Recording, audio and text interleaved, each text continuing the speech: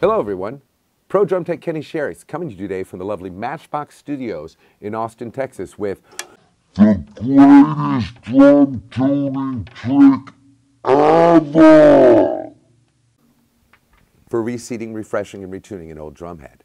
Now, today we're doing a session with this lovely Philip Ellis drum with this lovely Evans coated G2 on top.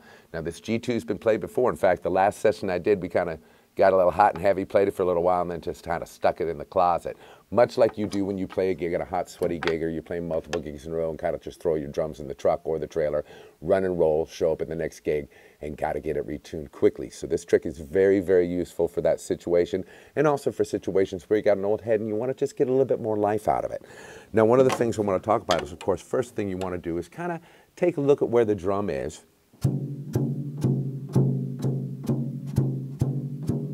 And see which lugs need a little reseating and resetting so you have a basis to start with.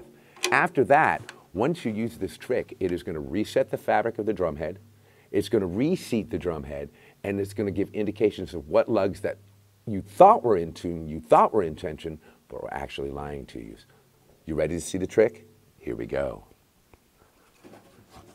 See the blowhole?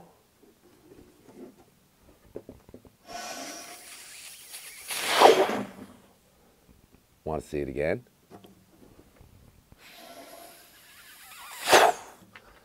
Now, as simple as it seems, this was taught to me by one of my junior high band instructors, Peter McNutt, as a way to refresh the fabric because the fabric of the drumhead or the film of the drumhead is actually pushed backwards in a direction it's not normally pushed in, stretching out the fibers and kind of reviving the life of it. It also puts air underneath the bearing edge, so lifting the head and then reseating it to the bottom of the drum.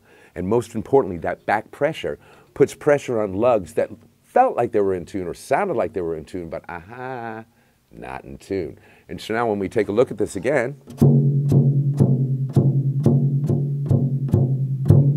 these two have now dropped to the point where I can reset and refresh this head in a very, very simple way.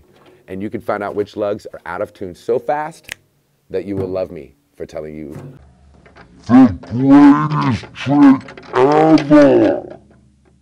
for reseating, retuning, and refreshing an old drum head.